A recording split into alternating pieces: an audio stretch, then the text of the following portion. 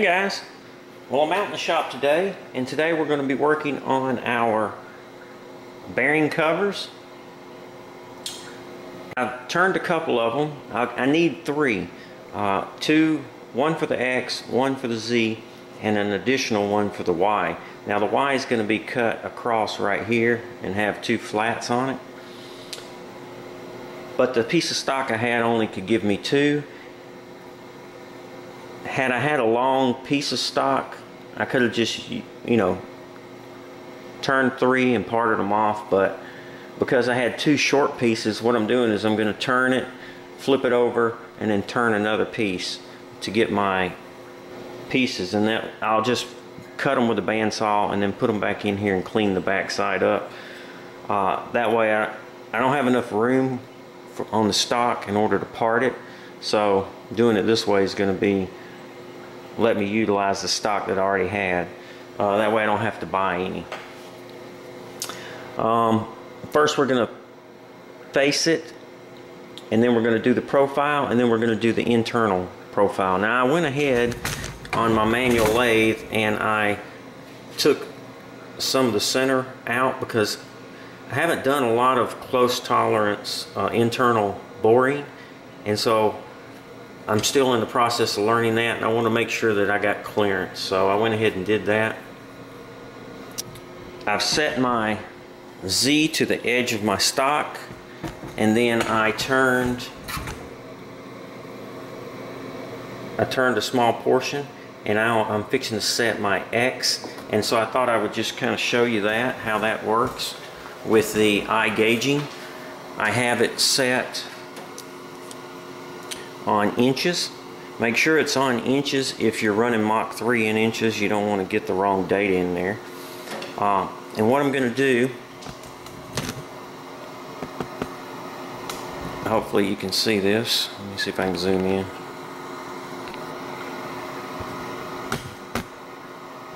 I'm going to click on my DRO and highlight it. Then I'm going to use my calipers to take this measurement and import the data. Okay, 2.2210.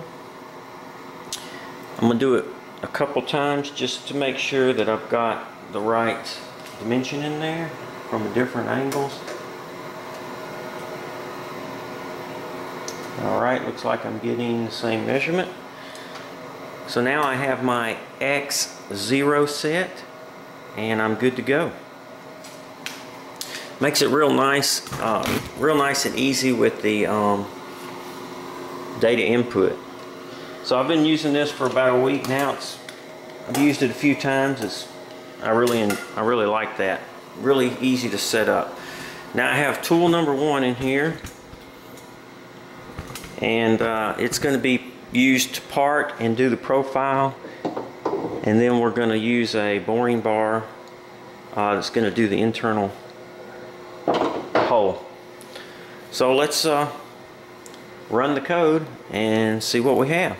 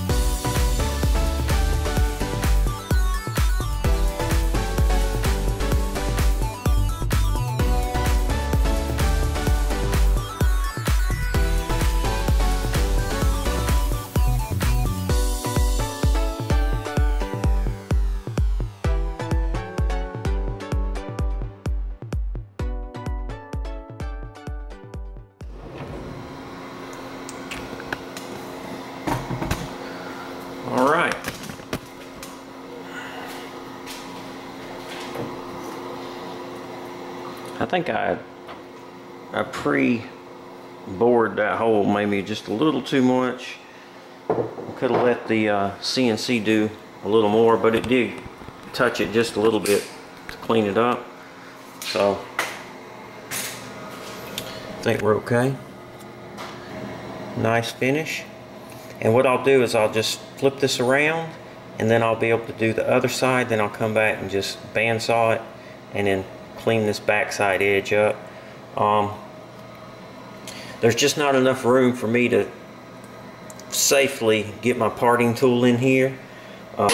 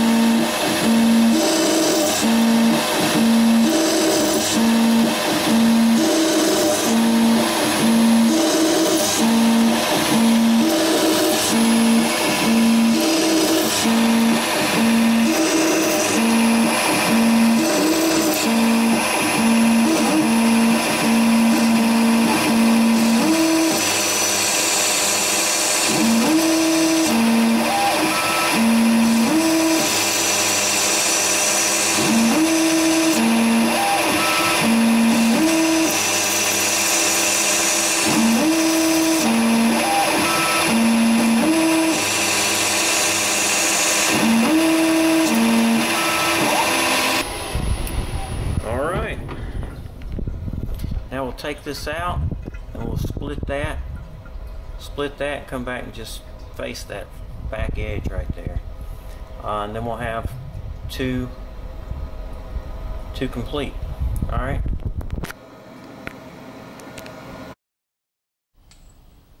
Okay so now I have my bearing covers made.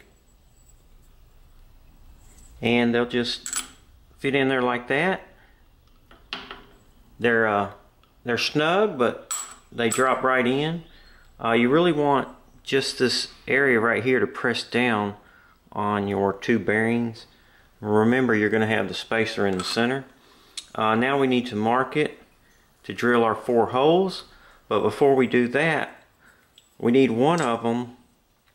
We need one for the X, one for the Z, but we need one for Y.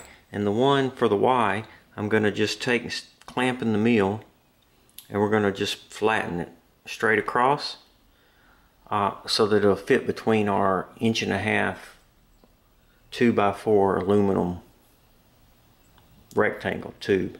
So that's what I'm going to do now. I'm going to get that set up in the mill and we'll get one of these flattened off.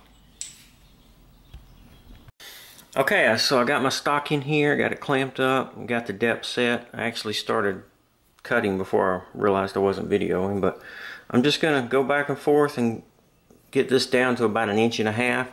So uh, for the total width, and that should be good. Once I get this flat, I'll flip it over and I can put that flat on top of this, on top of the uh, vise base here, and uh, it'll be lined up parallel.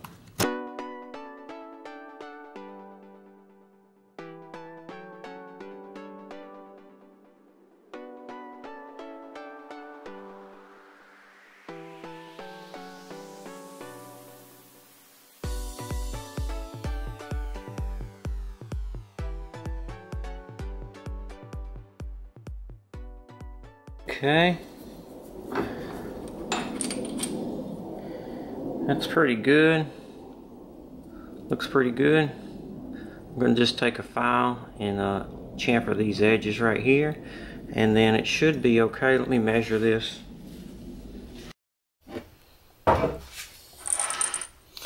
Okay, well I've got this marked and uh, we're ready to bore these holes. I just guesstimated where these holes were going to be. Um, if I were to do these in a CNC machine, then I would of course, had these holes drilled already. But when you're manually machining, um, I'll drill the bearing cover first and then mark the bearing block and drill and tap those.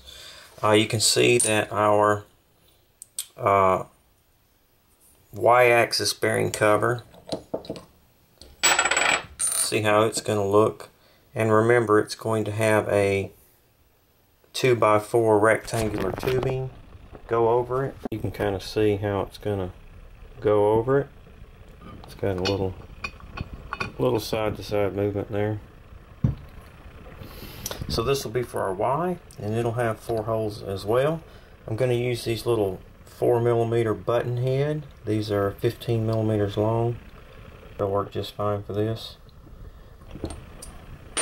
So I need to go ahead, I'm just going to bore this one and get it for the X, and then once we do the bearing block for the Z, I'll bore the second one.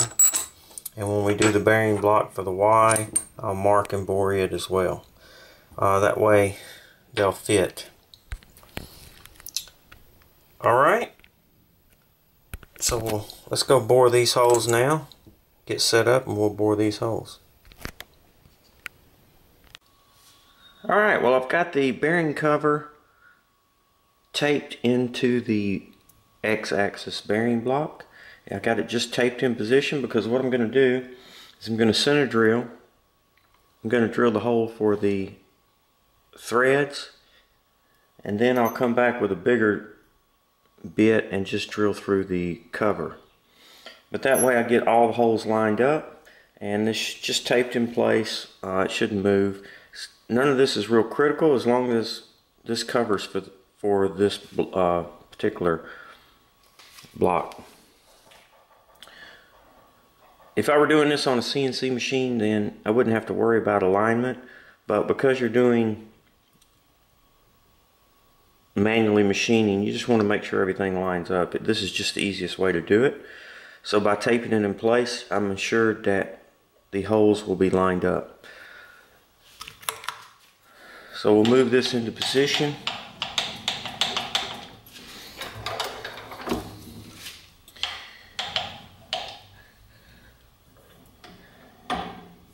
And after I had it taped in place, then I went ahead and just, with a square, just manually marked the center lines.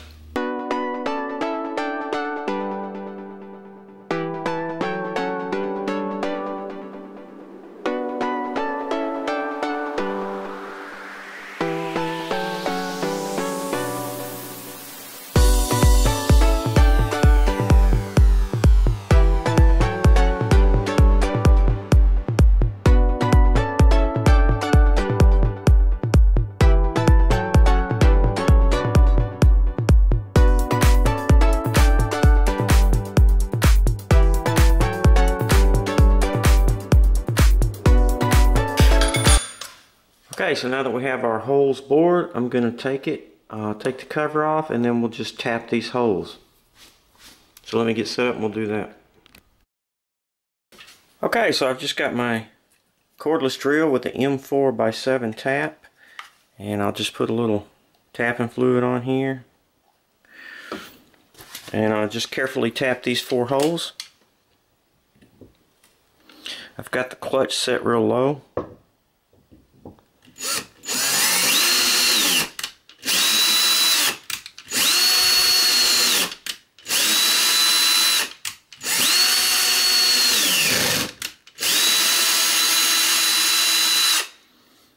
Okay.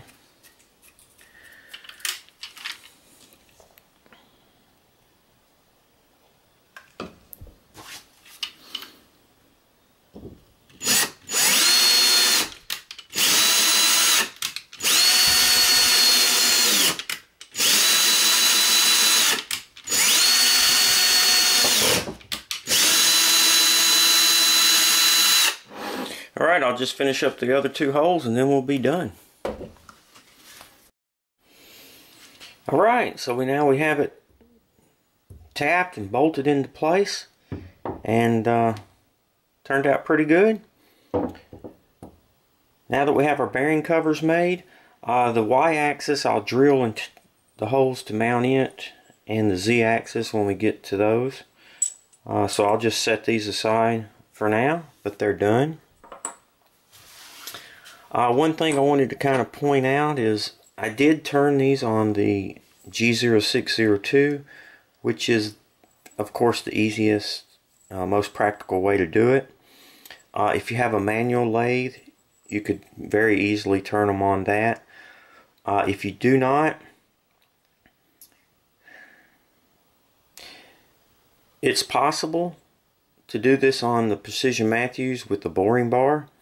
You'd have to mount it maybe a piece of a square stock or round stock you'd have to mount it and then use the boring bar and turn the bit uh, around so that you can get the steps. Uh, but it's not the easiest most practical way to do it. Um, if you only have a precision Matthews and you're following along with this build and you have no way to make these uh, that you can see let me know and maybe I can uh, make you a set of these uh, bearing covers so now that we have the bearing cover made for the x-axis, we have our spacer on there. You can kind of see how that's all going to kind of come together. And then now we just need to work on our stepper mount. So that'll be our next video. We'll get started on that. Please feel free to leave comments and ask questions. Uh, please subscribe to the YouTube channel by clicking on the link below. Uh, thanks for watching, and most importantly, be safe.